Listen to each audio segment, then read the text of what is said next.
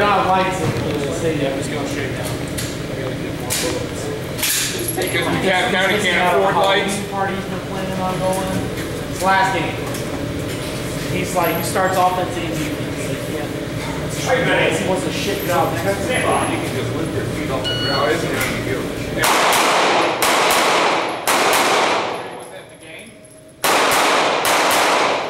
Not all of them. His buddy that's throwing the party. I mean, they just sent the email like two hours ago.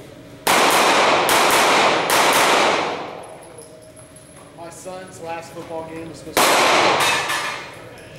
They sent an email saying now it's tomorrow night. How? Right seventy-six.